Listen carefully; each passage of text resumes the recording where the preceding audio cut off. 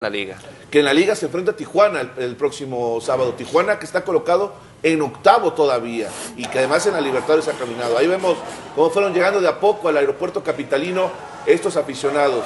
Ahora, ojo, esos no fueron acarreados ni nada. No, como en otras ocasiones. Llegaron pasa, ¿no? por propio pie y les dijeron, oye, a tal hora llega el equipo y va- ahí los recibimos. No, no. La gente llegó por naturaleza, Y- por sentimiento. Y a pesar de tanta gente que hubo, de la algarabía que existía por ese título de Copa, ordenado dentro de lo que cabe, ¿no? No hubo más eh, trifulcas ni con la gente de seguridad del aeropuerto, ni con la gente de la policía allá afuera, porque hay que recordar que es zona federal el aeropuerto. Entonces, me parece que a pesar de toda esta felicidad, de esta algarabía, se comportaron de buena manera los aficionados de Cruz Azul. Ahora, era romper la racha como diera lugar. Ya bonito, feo, regular, mediano, como fuera. Sí, ayer, ayer comentando el fútbol, este, Rafa Capo era uno de los más críticos, ¿no? Y yo le decía, a ver, hay que jugar los partidos primero, la final, estar aquí, y después el nerviosismo que representaba para los jugadores estar en esa final. O sea, no es, no es tan fácil y, y- tan, tan, tan cómodo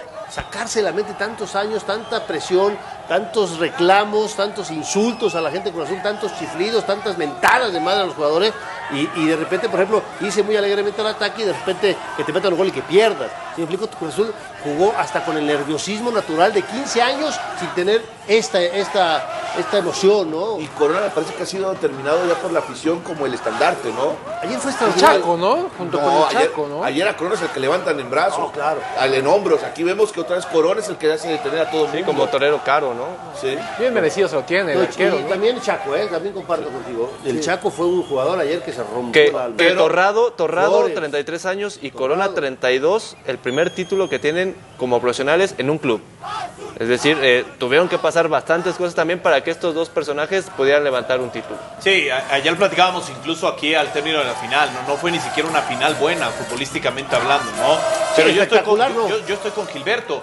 Yo, yo vi muy nerviosos algunos jugadores de Cruz Azul, ¿no? Por, esa, por ese maleficio, por esa cuestión psicológica con la que ya saltas a la cancha, ¿no? Y si Corona no saca ese balón de último minuto y Amioni termina dando el título a los Potros, bueno, hoy la historia hubiera sido verdaderamente catastrófica para los Cruz Azulinos. Ahora, las finales no se juegan, se ganan. claro. Es tanto que se le había reclamado este Cruz Azul en su momento, ¿no? De repente, no, si Cruz Azul jugó bien el torneo, llegó a la final, sí, pero no ganan, las finales se ganan. Bueno, hoy, hoy aplicó esa, aunque no. Pero creo que, que- que aquel dicho tiene que ver más con unas formas planeadas, estratégicas, ¿no? Tiene que ver con la crítica, aquel técnico que eh, renuncia al espectáculo y que se encierra. Acá no estamos hablando de eso. Acá estamos hablando de un mal fútbol por una baja de, de juego, o sea, Nivel, por mal rendimiento, por mal nivel, Porque- no por una estrategia, no por una, una orden mandada desde el banquillo. Estamos hablando de que no están, no están jugando bien en Cruz Contra Azul, América tuvieron grandes como mucho 60 menos están minutos. jugando bien en Atlante. O sea, pésimo más el, el Atlante, ¿no?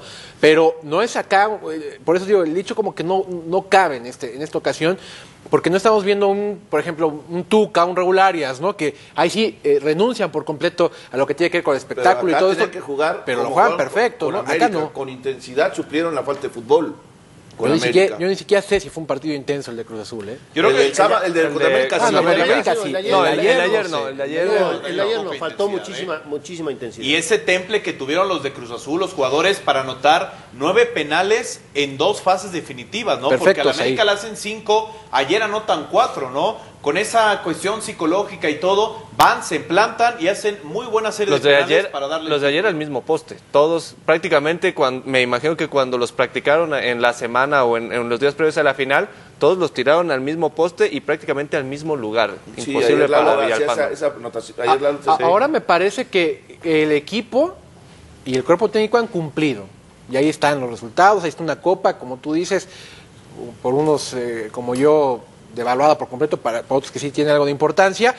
Pero creo que ahora entonces viene la parte del aficionado, de estos que están gritando y festejando y todo, porque son los mismos que apenas hace unos Sí, días claro. fueron a gritar fuera sí, Vázquez, sí, fuera claro, Vázquez, claro. fuera Vázquez. Entonces ahora viene el papel, a partir también para ellos, a partir de Tijuana tiene que ser un partido, no, pero no aficionados, apoyando. ¿eh? Bueno. por, por ahí vinieron, por, por eso vino el divorcio con el eso, técnico, pero- porque el divorcio salió a hacer una crítica totalmente fundamentada de que no apoye, o sea, de que no iban a el jugar su- equipo- su, pero partido y encima El iban a... apoyo viene de la cancha hacia afuera, no de afuera hacia No, adentro. no, ¿eh? no, el aficionado también tiene que jugar su papel. O sea, sabemos que históricamente mal, la que cancha del Estadio. Azul es un congelador. Lo sabemos. Porque el equipo lleva muchos años una- jugando así. Y porque, no, no, no me digas, por ejemplo, que canchas como Torreón, eh, como el Universitario de Nuevo León, no, son canchas el ca- donde le, no, no. el- el- Monterrey, el- sácalo, Monterrey se- no lo metas. Se convierte en un factor más. No lo La metas. tribuna. Bueno, la más reciente, la de los Cholos de Tijuana. Se convierte Fue en factor, al o sea, final de la cuentas. afición de. Tijuana ha sido factor. No ha el- vivido lo que ha vivido la afición de Cruz Azul, ha sido exageradamente golpeada por la historia, por las finales perdidas. Se ha vuelto una, una afición crítica y aparte incrédula, que creo que eso es lo más duro. Es, es una posición muy Muy factor comodina. de muchas burlas, ¿no? El equipo- la gente de Cruz Azul, mira, aquí vemos algunas. Pregúntale a Lomas, mira cómo tiene la cara ya. acá No, y, y hoy por eso están ávidos, y estaban ávidos, ¿no? De ganar algo, de gritar algo.